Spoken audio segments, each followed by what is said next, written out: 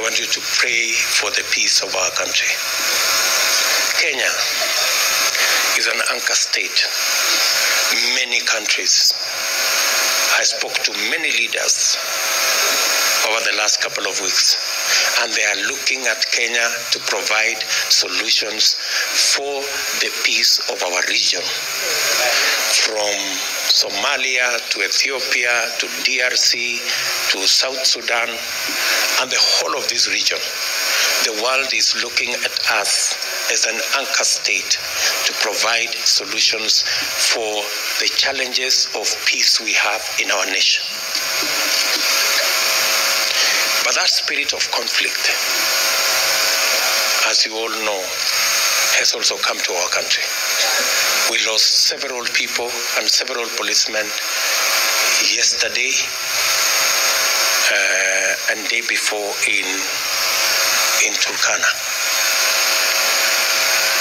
We are doing what we must do as a government to make sure that we see the last of these kind of things so that our country can be peaceful and so that Kenya can play its rightful place being the anchor state in this region.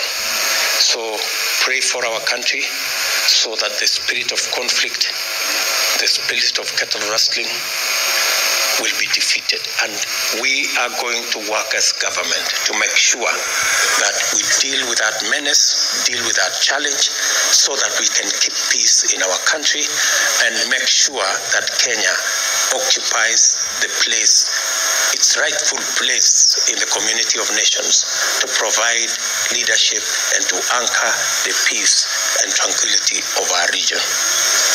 So pray for our forces, uh, pray for our policemen and women, our security agencies, so that uh, they can discharge their responsibilities.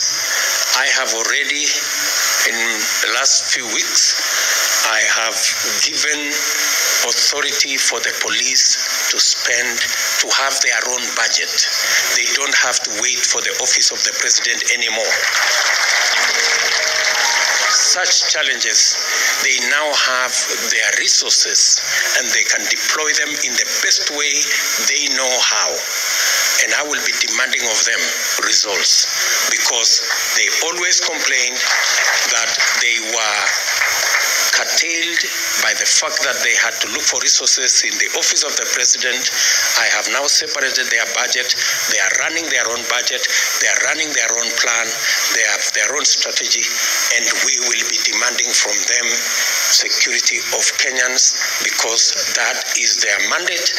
And we will be making sure that they deliver on that mandate. But meanwhile, let us pray for the wisdom um, of God to be upon the men and women who are charged with the security of our nation.